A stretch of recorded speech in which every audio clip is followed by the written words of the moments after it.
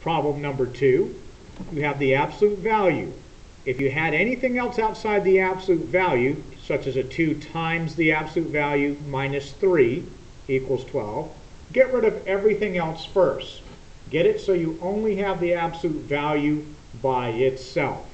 So then you split this into two, where this is a positive and negative. If this happened to be an inequality, when you set this one to a negative, don't forget to turn around the inequality. So have 4 minus 2x equals 12, and 4 minus 2x equals negative 12. Solve those two problems separately. Subtract 4 from each side. So x equals negative 4. That's one of my answers. And again, solve this one. So minus 2x equals minus 16. So x equals 8.